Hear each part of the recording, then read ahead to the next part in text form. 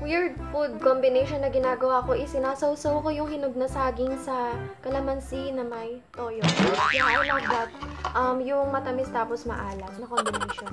I don't know kung weird yun. And then last question. Where's your favorite place to travel from Gordon or Jordan Chambliss? So, wala pa ako napupuntahan na ibang lugar. Hindi pa ako nakakapag-travel. Kasi nga, bukod sa bawal tayo, wala tayong budget. Hi guys! This is Margaret Jean and welcome back to my channel. For today's video, ang gagawin natin is Q&A challenge. I don't know kung challenge siya. Basta ang gagawin natin is Q&A and I got some random questions from random people. So, nagpost ako sa isang FB group and then nag-comment sila together with their YouTube channel. So, magkakaroon din tayo ng shoutout dun sa mga napili ko na questions. Yan, mukha naman akong giraffe pag dyan nakalagay. Ay, mukha naman akong zebra. Parang puti-puti na mukha. Yung ilaw na lang dito yung nagsisilbing liwanag. Maliwanag naman dito pero mas nakasenter na sa mukha ko kaya parang ang puti-puti na mukha ko. But don't mind it na lang. So, let's get started. Is it too much to that you we are mine? I never was good at sharing. So, eto, nilagay ko siya sa isang lalagyan. Lalagyan siya ng peanut brittle. shake-shake ko muna to para makapili tayo ng karapat dapat na tanong. Alright. First question. Ay, hindi ko na siya mabasa. From Alexandra Lin, what is your favorite childhood memory? So, hindi katulad ng childhood memory ng ibang mga bata. Yung naging childhood memory ko, yung katulad na lumalabas sila sa bahay, naliligo sa ulan. So, yung sa akin kasi more on dito lang din sa bahay kasi hindi kami pinapayagan lumabas noon. So, yung ginagawa namin nung kapatid ko tsaka nung cousin ko, naglalaro kami ng model-modelan. Kaya siguro na ah, na-expose din ako agad sa mga pageant-pageant, model-model. Kasi nga, bata pa lang kami. Ayun, ayun yung ginagawa naming laro. Tapos sinusuot namin yung kumo. Tapos nagmo-model kami dito sa bahay. Yun. So, thank you for this question, Alexandra Lynn. Next question, please. Alright, for second question, here we go. This is from Star Wars Ru- Rumors. What is your favorite natural non-alcoholic drink? Water. Because water is life. Next.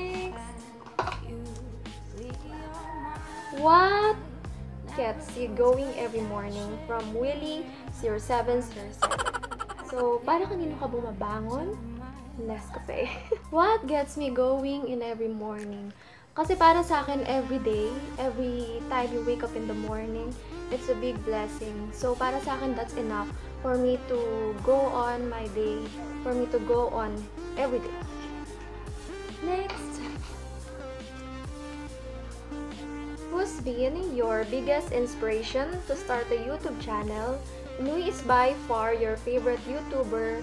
A question from for Semi Infinity.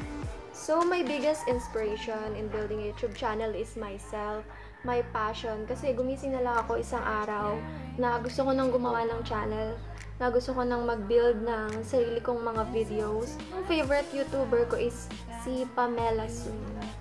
Yeah, sobrang galing na. Idol ko yan. Next. If a wizard would give you a chance to travel, will you go to the future, past, and why? From its LSS. So, para sa akin, ang pupuntahan ko is past.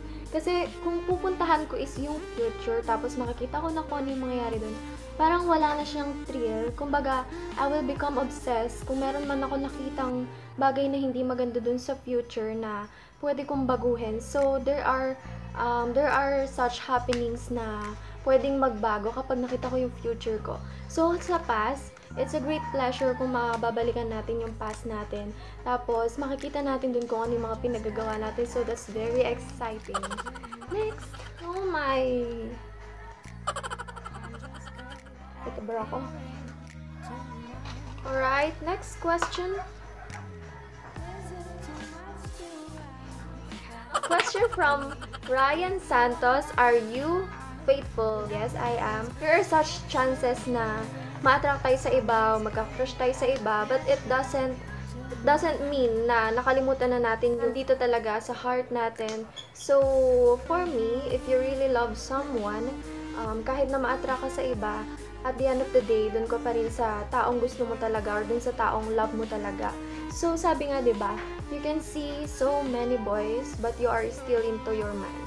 So, thanks so much for this question. Hi to you! Next. When you think of a perfect life, what does that include? What does it looks like? A question from Thai Tiger. So for me, wala namang perfect life because nobody's perfect. Siguro um great life or a successful life. For me, hindi ito about sa anong wealth or kung gaano ka kayaman. Kung gaano kadami yung pera mo or kung ano yung merong pag-aari na meron ka. That doesn't mean na you are really successful. Para sa akin, kasi of being successful is when you have God in your life and you make Him as the center of your everyday living. Next question, what is the first thing you notice about a person? A great question from Micaela. Yung una ko na, na yung una ko napapansin sa isang tao is yung grooming. Kung mukha ka bang malinis, kung mukha ka bang mabango, I got you. Next. What is your favorite movie? A question from Quantum Protocol. So, wala akong favorite movie dahil hindi mahilig manood ng movie. Next, if you had one night where you could go anywhere and do anything, money wasn't an issue and no other limitations, what would you do? A great question from Crappy Greener. So, sabi dito, money wasn't an issue. So, dun pa lang, panalong panalo na tayo. So, one night, panalo pa din kasi hindi ako pinapayagang umalis ng bahay or umalis ng gabi. So, there are a lot of limitations in my life. Ano daw yung gusto kong gawin, kahit saan or kahit ano. Siguro, yung first 6 hours sa magdamag na yon, I will go to bar, I will go to, I will going to socialize with other people, and then the next 6 hours, I will go to a beach yung mag-iisip ako nung ako lang mag-isa. Kasi love ko yon yung lalo na yung yung papanoorin ko yung pagsikat ng araw. That, that is a great experience para sa akin. If there is one thing that you can change from your past, what is it and why? A question from It's Pump Time. This is a hard question. Pero para sa akin, hindi ko nababaguhin yung past ko kung magkakaroon man ako ng chance na makabalik doon. Kasi lahat ng mga nangyari ngayong present is bunga ng past. So kung meron mang maganda nangyari sa atin sa ngayon sa present, dapat nating pasalamatan yung nangyari sa atin sa past. Next question, what is one thing you would not share on YouTube? A question from Tiger Meow. Of course, my secrets. I won't share that on YouTube. Para nagiging fast talk na What's a conspiracy theory that you believe in? From Lauren McCoy. Um, I love to read conspiracy theory, pero kahit isa daw wala akong pinaniniwalaan. What is your favorite breakfast? The first meal of the day from Mommy Butterfly. My favorite breakfast is pancit canton with calamansi and poached egg. Next question.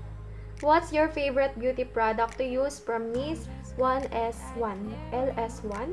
Uh, my favorite beauty product is moisturizer dahil dry yung face ko. Next, second to the last. What's the weird food, food combination you enjoy from Elvis Chibundo? Weird food combination na ginagawa ko is sinasawsaw ko yung hinog na saging sa kalamansi na may toyo. I love that. Um, yung matamis tapos maalat na combination. I don't know kung weird yun. And then last question. Where's your favorite place to travel from Gordon or Jordan Chambliss? So, wala pa ako napupuntahan na ibang lugar. Hindi pa ako nakakapag-travel. Kasi nga bukod sa bawal tayo, wala tayong budget. Tapos na tayo, wala na. so, that's all for this video, guys. I hope you enjoy. Don't forget to give this a thumbs up. Thank you for watching. I'll see you on my next vlog, guys. Bye-bye!